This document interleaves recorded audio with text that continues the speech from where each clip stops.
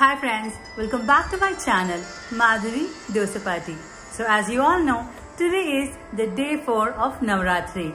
Yes guys, day 4 and obviously it is Chaturthi, right? So on this day, goddess Kushmanda is worshipped and as you all know guys, she is believed to be the creative power of the universe and undoubtedly guys, goddess Kushmanda is associated with the endowment of vegetation on earth. And as you all know, obviously the color code of today is green and I'm wearing pastel green though. And not only that guys, she is depicted as having eight arms and sitting on a tiger. So with this, I wish you all once again happy Navratri and stay blessed, stay safe. Bye.